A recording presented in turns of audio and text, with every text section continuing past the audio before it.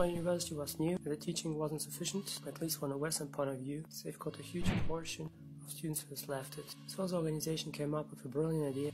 Those who want to continue learning, regardless of having paid the tuition fee last month, you have to pay additional the half price of it the next month. Otherwise you should leave. At that time my dad says Germany has better opportunities right now to get a quick qualification in order to get back to Japan as quickly as possible. So the circumstances forced me back. First several months in Germany I with several thousand companies everywhere I could, and to get rid of the frustration, I started to play Pokemon Go and pay for it, as I already did around three times when I have noticed nothing is holding me right now in Japan. Most money I spent in Pokemon Go were for raid passes and hatching devices. Because of it, I've got a lot of friends.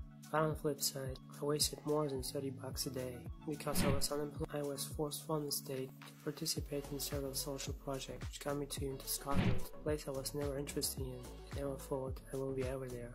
One day in Scotland, Noticed that I'm wasting my time doing anything. I got my suicidal tendencies. I made a covenant with myself, finding something different.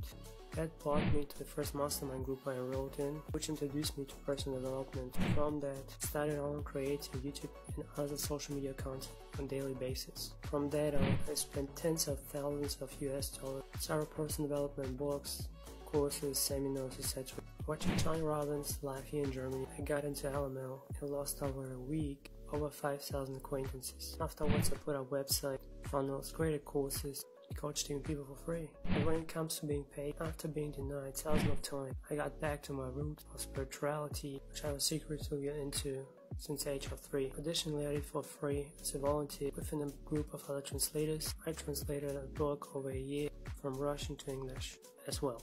But even not having earned even a cent till this day, keep on providing value.